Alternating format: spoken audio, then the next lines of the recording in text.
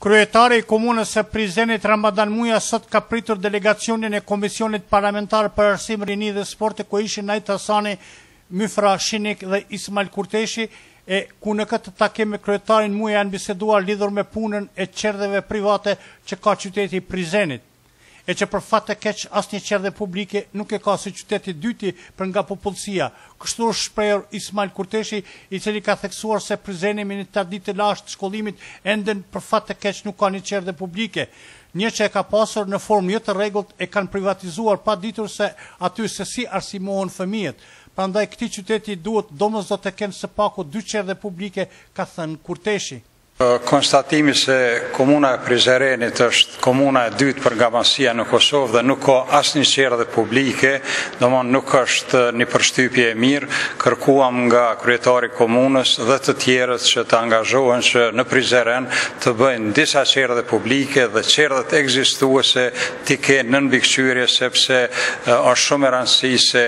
Kush, si po edukon, me çfarë programi po edukon fëmijët tanë në moshën kur ata fillojnë ta ndërtojnë personalitetin e tyre. Po ashtu, biseduam edhe për problemet e trashëgimisë kulturore dhe kërkuam që edhe komuna ta ketë rolin e saj, edhe pse përgjegjëse ligjërisht është Ministria e Kulturës, Po meqë jemi këtu në Prizren, këtu është edhe komuna, do duhej që edhe ata ta japin pjesën e kontributit të vet që Prizreni ta ruajë karakteristikën e një qyteti muze.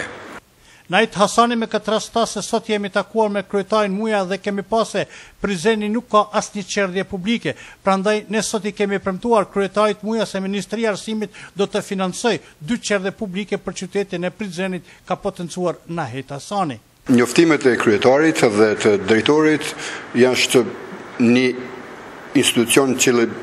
e ka një aktivitet, nuk e ka të zgjidhur një status mjaft të mirë për shkak se është çështja e punësimit ka qenë një angazhim i tyre që kanë qenë prej vitit dy mijë e pesë kur ka fillu si proces dhe po tani e kemi një kontratë mbi kontratën të cilët e kanë dhënë kontraktuesi që ka marrë në partneritet privat publik dhe ia ka dhënë një kompanije tjetër cilët aty e shfrytëzon për institucion shkollor, domethënë prej klasës parë deri në klasën e tretë me metakivit dhe kjo është një shkelje e, e të kontraktuesit. Drejtori i DKA-së, Zadin Shemsedini, po sot ka konfirmuar këtë premtim të grupit parlamentar dhe tha se kryetari Muja ka premtuar se në vitin që vjen, pra në vitin dy mijë e shtatëmbëdhjetë do të gjenden hapësirat që të ngriten këto dy çerdhe. Në të ardhmen, për vitin dy mijë e shtatëmbëdhjetë, parashihet që në Prizren të ndërtohen dy çerdhe publike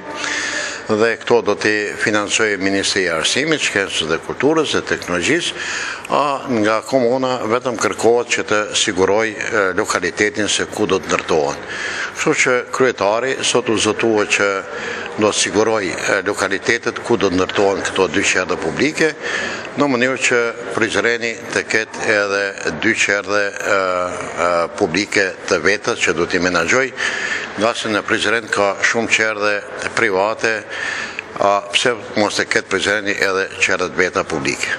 Kështu që në vitin që vjen, pra Prizreni do të ketë dhuratë dy çerdhe publike, Kjo është edhe nevojë e domosdoshme për një arsim cilësor.